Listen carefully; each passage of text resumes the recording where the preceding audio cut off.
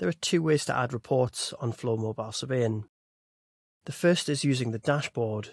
This can be really useful if you're doing, say, a desktop study for an asbestos survey, for example. You want to do some work before you go to site just to pre populate some information about the building. But that's not always the case, it's not always practical to do that.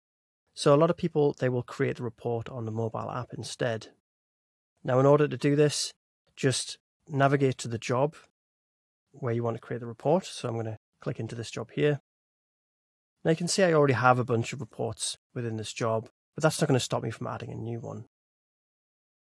Click Add Report, and now this is going to list any templates that I have access to. You're only going to have access to a few templates, but because I'm a super user, uh, because I'm one of the Flow team, I get a lot of templates here.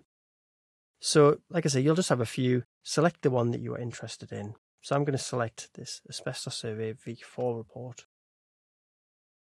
Now the report's been added, it was as simple as that. It's now taken me into the report so I can start doing my survey. But if I navigate back up a level, you can see this is the report we just created and it has zero items because we haven't started adding any yet. So that's it. That's all you have to do to add a report on the mobile app and then you can start doing your survey.